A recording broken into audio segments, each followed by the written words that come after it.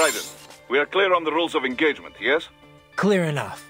I can use deadly force against any hostile elements.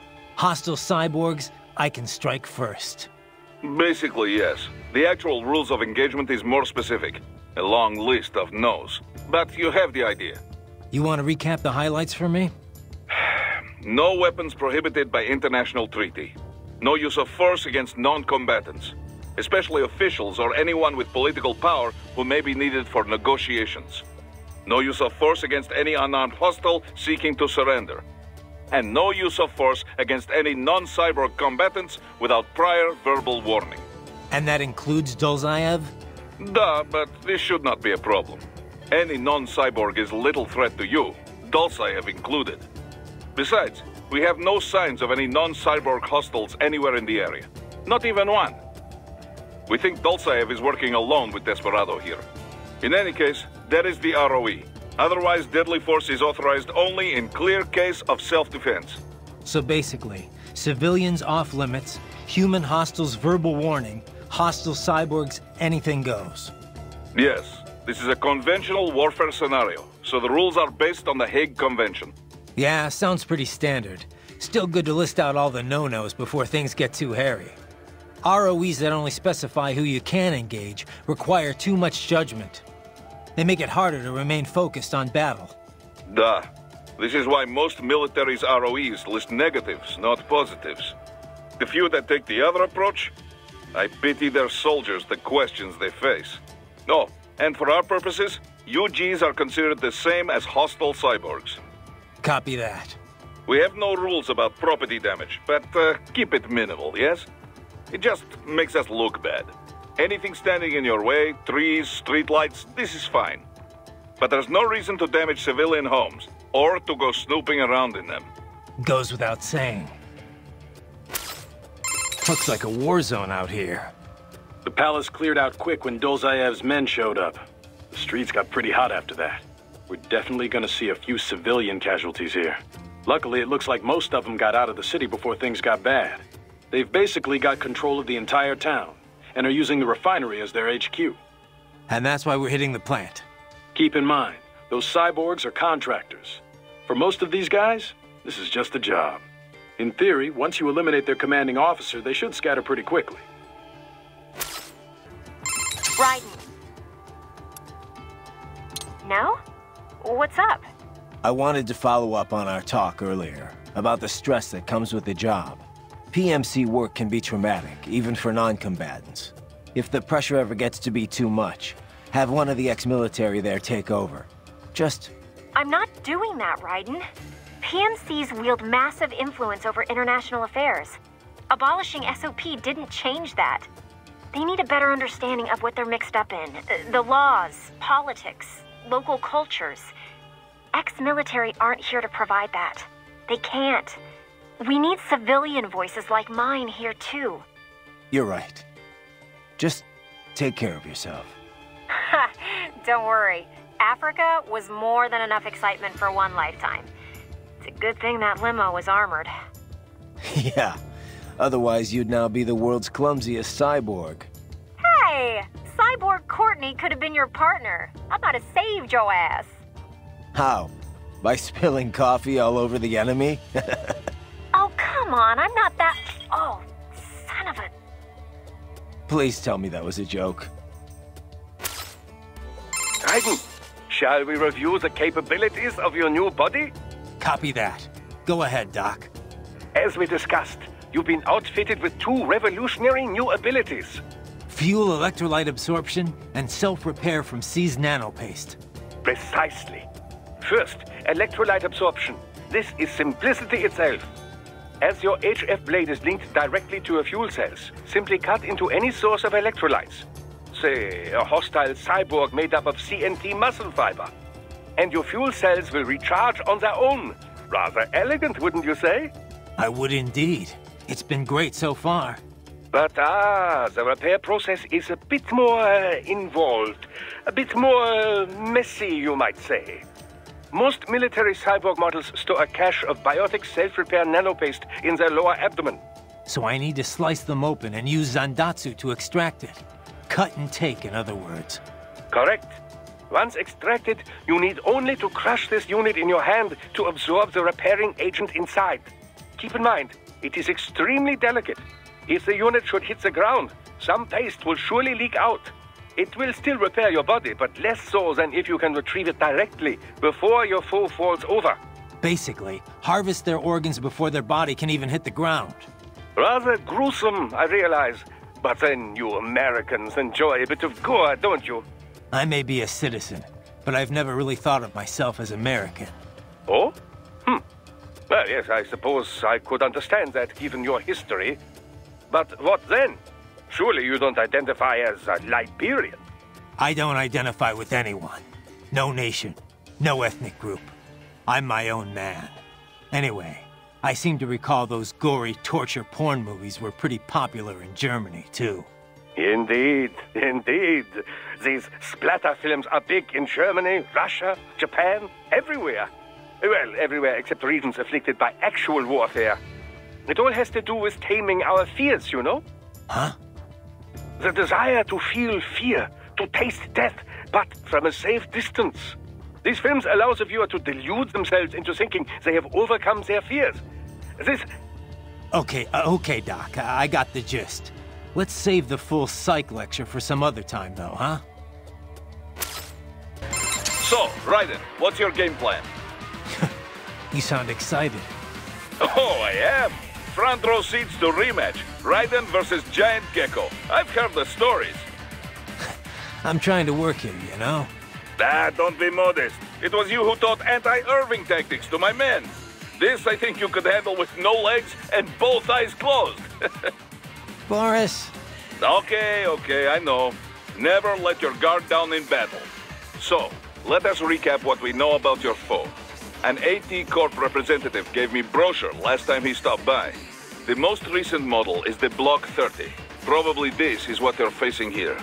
Muscle contraction rate is increased by 6%, and the chassis is made from honeycomb boron fiber reinforced plastic. It's lighter, more durable.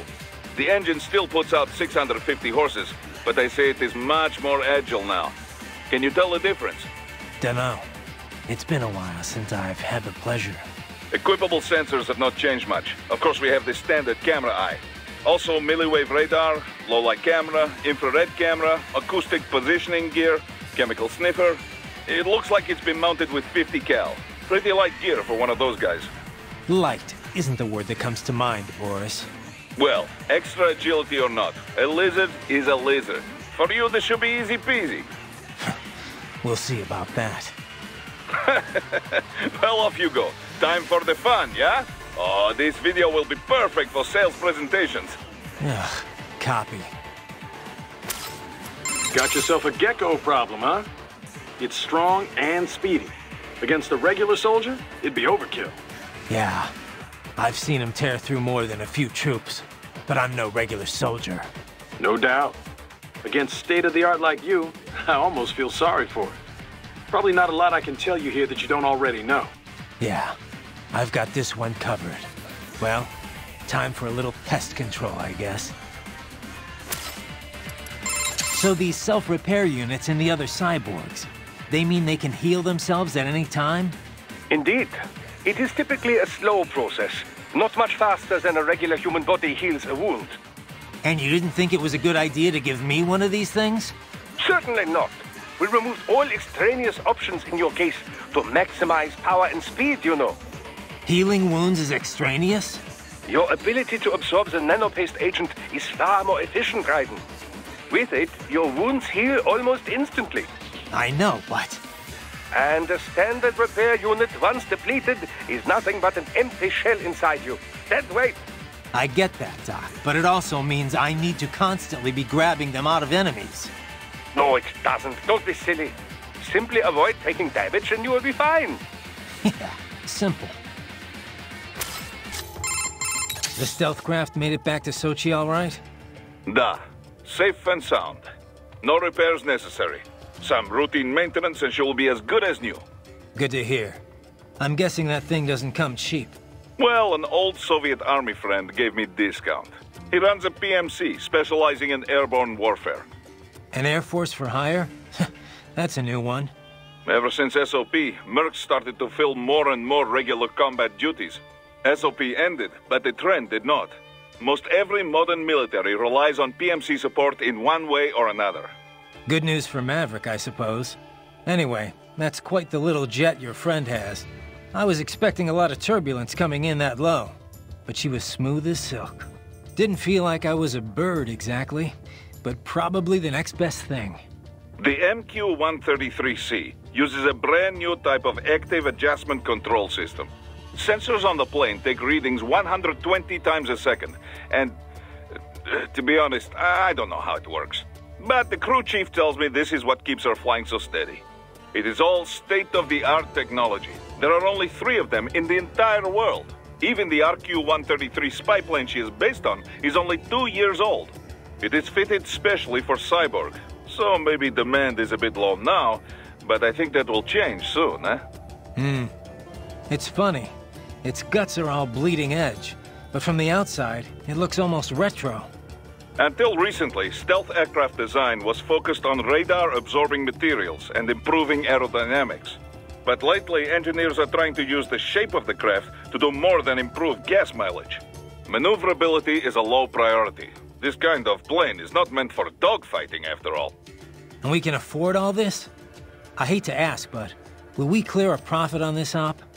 You need not worry about such things. But yes, we should be fine. Where the proper equipment can make or break a mission, we should have the best. That miss with the anti-air missile last month was a painful reminder of this lesson. Ah, yeah. I see what you mean. Sorry, man, but I have to ask. Where did Mr. Lightning Bolt come from anyway? Ugh, seriously? All right. Well, I told you where I got Raiden from, right? World War II, the Japanese had a plane called Raiden. The Allies named it Jack. Yeah, I remember. And my real name's Jack. So yeah, they codenamed me Raiden. They being the Patriots. Mm-hmm. Never really suited me. But it's better than... Jack just reminds me too much of the past. I hear you. Someone once told me, you can find your own name, and your own future. After that, I dropped Jack for good. Right, right. And this lightning bolt business? Well, the Rai part of Raiden means thunder, and Den is electric. So Raiden is basically lightning bolt. Mm-hmm. Anyway, I was explaining that to N'Mani, and he just busted out laughing. so he called you that as a joke? He was basically just giving you shit. yeah, he actually had a pretty good sense of humor. He was one of the most charismatic men I'd ever met. I don't know much about politics, but being around him, you could just tell he was a natural leader. Such a goddamn shame. Mm-hmm. I won't let it happen again. Desperado ends here. Comic book villains and all. Yeah. We're counting on you, uh, Mr. Lightning Bolt. Ugh. Most fascinating foe. And such natural speech. I've never heard of a UG capable of conversing of its own free will. Yeah. Maybe we can just talk this through. Any weaknesses come to mind? Something I can exploit? No particular weak points come immediately to mind. It's fast as hell, and it's flinging knives at me from a distance. Indeed, I'm not sure your body can match its speed. And if you can't dodge the knives, then your best bet is to deflect them. Try entering blade mode. I'll give it a try. I've seen a lot of weird stuff, but this takes the cake. Well, I'm glad you're entertained. Too bad you're missing all the fun. It's a real party down here. Sorry, buddy. My specialty's cultural studies, not combat scenarios. If you're looking for my help in a brawl, you must be getting pretty desperate. Good point. Besides, if you've got time to screw around on the codec, can't be all that bad, right? We'll see. Okay, back to the party. You call for reinforcements? Crafty little mutt. This could be trouble. Not really. They're packing self-repair units, right? Unless they're stronger than I think, this could actually be a good thing. Well, hopefully yes, but be careful.